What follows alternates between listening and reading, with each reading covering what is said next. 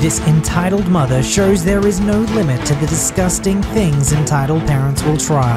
First, they try to steal the keys from this disabled person, and then they mock their hearing aids. How will justice be served to this terrible human being?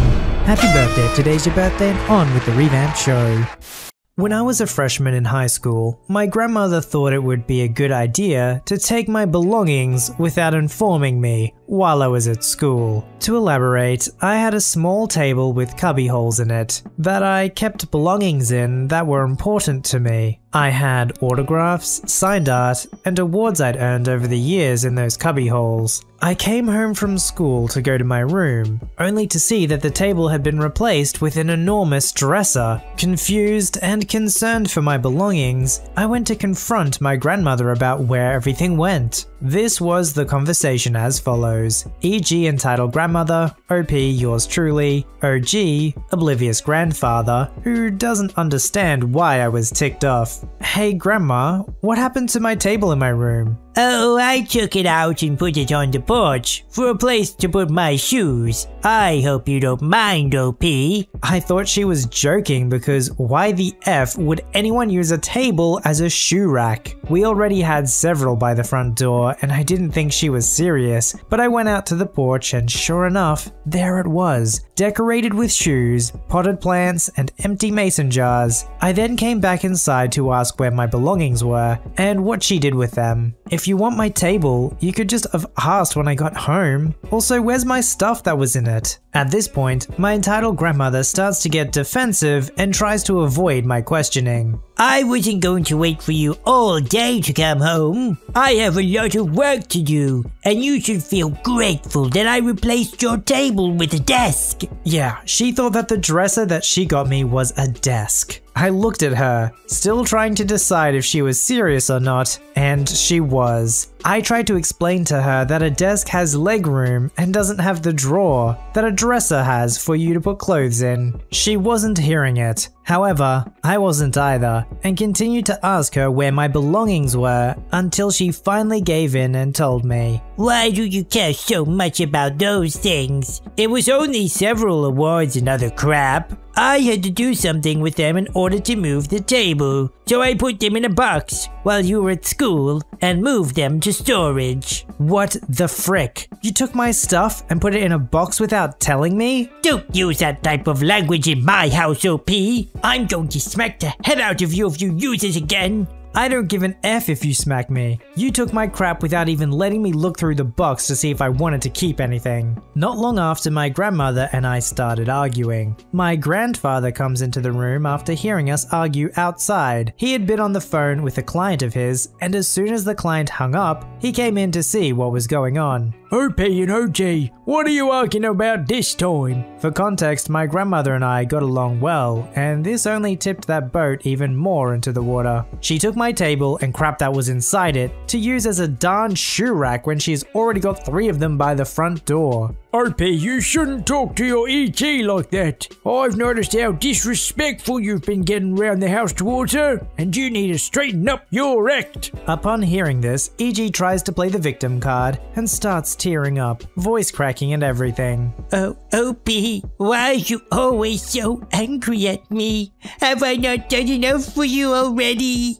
What did I do to deserve this kind of treatment from you? Please tell me. Don't pull that crap with me, EG. You've been doing it every time I catch you doing something crappy just so that you don't have to take responsibility. My OG gets furious at this point with me. He disregards the fact that his wife had stolen my belongings and starts going off at me. OP, look what you've done. You need to learn to respect your elders. You've always been a good granddaughter, but this is unacceptable. I can't believe how you're displaying yourself right now. This is my household, and you're only 15. 15 or not, she, e.g., stole stuff that was important to me. How would you feel if I went into your room, took your clothes and stuff out of it, stuck it in a box while you were out of town, and told you that I put it in a storage room and replaced your furniture with something else that served no use to you? Well, I would feel grateful that someone would take their time to think of me and spend money on me. See, is thankful for the things in her life. Why can't you be, OP?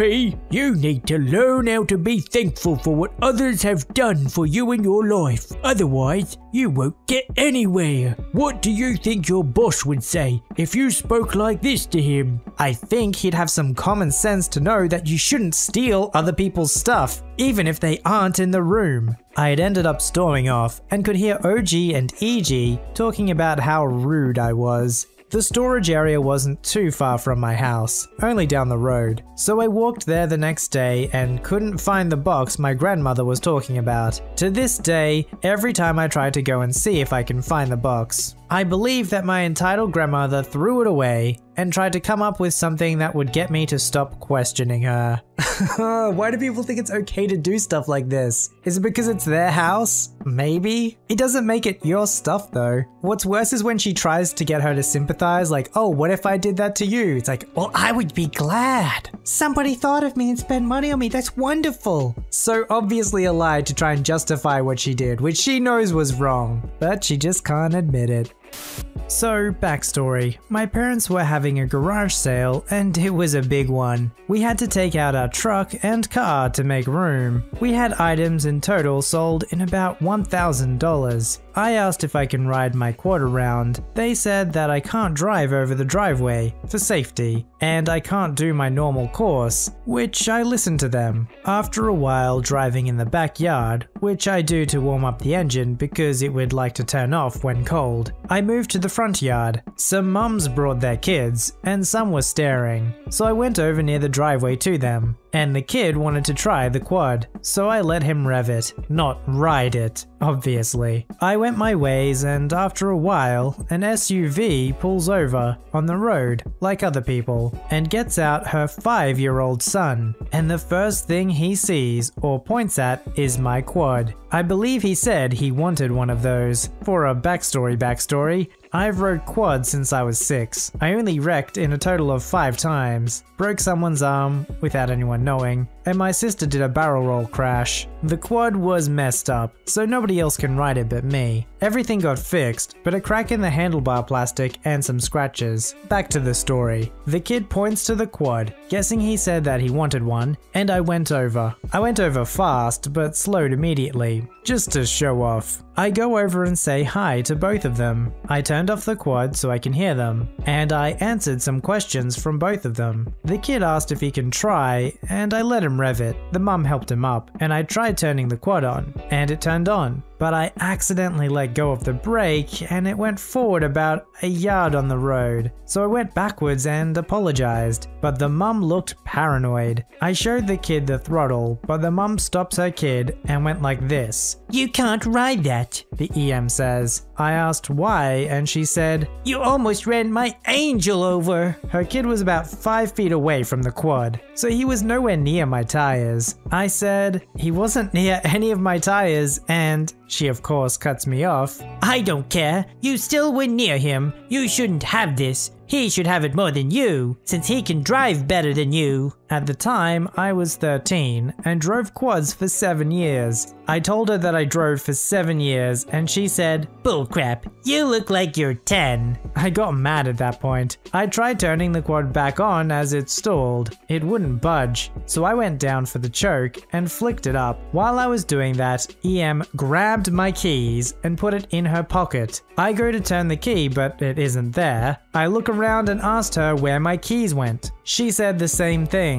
I don't think you should drive. That made me realize she took them. Give me my keys back. I take off my helmet and reveal my hearing aids. I go to her and ask for my keys again, and she shoved me back. I look at her pockets and find the bulge of my keys. I try reaching for her pocket and she pushes me back and screams the casual line, Help! He's assaulting me! Obviously trying to make a scene and people onto her side. My dad looks over and sees me and her shoving each other. He runs over and asks what happened, and the dialogue went like this. She stole- cut off by Karen. He assaulted me. No, I didn't. You stole my keys from my quad. No, I didn't. You tried to run over my son. Both of you, shut the heck up. A drill sergeant type yell. Silence. Alright, what happened? The kid wanted to rev my quad, so I tried starting my quad, but I accidentally let off the brake when it was on, and the quad went up the yard onto the road. So I reversed back, and then she accused me of almost hurting her son. And when I tried starting it up again with percussion, she took my keys. While this happened, a guy comes down to us. Cue heavenly music, and he saved me. His name would be SA for Savior. I saw it happen. You did? Then tell me what happened. He told my dad about the same story as mine, and Karen gets red hot in anger. My dad asked for my keys back, and she took it out of her pocket, but threw it in the yard. Luckily, it had a big chain, and said to me, Go get the keys, Mr. Mechanical Ears. I knew she was making fun of me, so I said, Go get a husband, you single idiot, because she didn't have a wedding ring. She stumped off and drove away.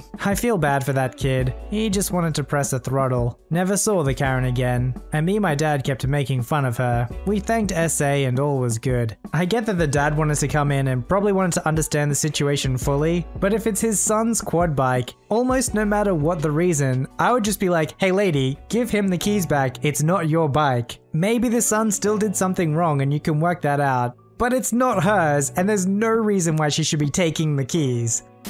So before I start, I would like to point out that this is my dad's story. He's a firefighter slash paramedic in our local FD, and this is before the lockdown. The cast, my dad who will now be called MD, LT, the fire lieutenant my dad works with, FF1, the other firefighter, and the engine driver, FF2, another firefighter, FF3, another, EM, it's obvious, EK, a bratty kid, NK, the only kid that wasn't a brat, SD, sheriff's deputy. Alrighty, so this happened somewhere around September 2019, and it was a quiet day at the station. There was only one other call that day, a medical call for one of the ambulances. MD was chilling and talking with his crew when the tone goes off. It's a medical call. A 13 year old female was scooting and fell headfirst into the sidewalk and was bleeding badly. MD's engine was called out along with an ambulance, so to the call he went. His engine was first on the scene, so he and his crew immediately helps the girl until medical arrives and takes her away. MD and the LT were cleaning up the blood, while the other FFs were putting away the equipment when. Excuse me, but can my EK play with the sirens on your truck? Now, I should add, MD station is always open to the public, but they don't let people play with the sirens. They can turn on the lights, but not the sirens. They don't let them turn on the sirens because A, they are too loud, and B, just out of consideration, and the fact that there's no emergency. What? Oh, I'm sorry, ma'am, but your kid cannot turn the sirens on. He can turn on the light. He gets cut off. I don't freaking care. Let EK play with the sirens. Who is in charge? I demand to talk to them. At this point, my dad knew what was about to happen, but he still calls over the LT. Hello, ma'am. I'm Lieutenant Censored with the local FD, and Ugh, finally, my kid wants to turn on the sirens on your fire truck. the other FFs and MD just look at the LT, trying to see what's about to happen next. Uh, well, sorry, ma'am, but your kid cannot turn on the sirens, but he can come see the equipment and turn on the lights. No, my kid wants to turn on the effing sirens, so he will. Yeah, I want to turn the sirens. I should mention he looked about nine to my dad. See? Now let him, or I'll call the fireman chief. Yeah, she called the chief the fireman chief. oh boy. Ma'am, just accept this and accept that he can turn on just the lights. FF1, can you explain to her about why she can't do that? Of course, LT. Ma'am, we can't do that out of consideration for the public. And that it would be unnecessary and loud. EM just huffs and walks away. They think it's the end of that when F2 cries out in pain. Oh, mother effer, what the danged heck? Apparently, the EM picked up a baseball sized rock that had some semi sharp edges and yeeted that rock at F2. Bad idea. F3 runs over to F2, who is now holding his leg, which is now bleeding through his fingers. FF1 runs to the engine and grabs Gauze, shouting to the lieutenant if he should call the medical and law enforcement. All the while, EM and EK are sitting there on their porch, looking smug AF. It's easy to see they did it. MD looks at them and oh boy is he ticked. He starts shouting at EM. What the heck did you do? Oh, nothing. Just enjoying your punishment. MD gets the LT and tells him about what she did. LT explodes. What the absolute frick, lady? Do you realize what you just did? You've just committed a felony. I swear to goodness, if you don't get inside, you'll regret it. MD, call for law enforcement. My dad does that, all while shocked that the LT just blew up like that.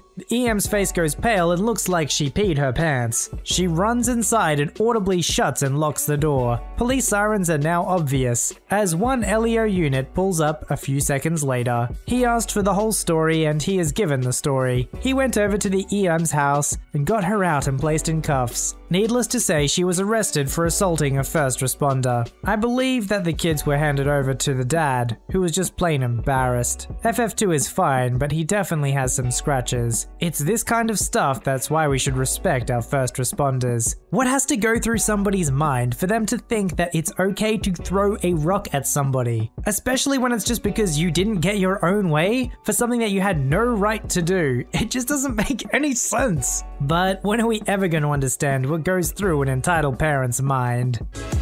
Submit your story to be read on the channel at voiceyherestories at gmail.com and join our Voicey veteran community at r slash voiceyhere. Don't forget to like, subscribe, and hit that bell to never miss an episode. Alright, Voicey veterans, I'll see you in the next one.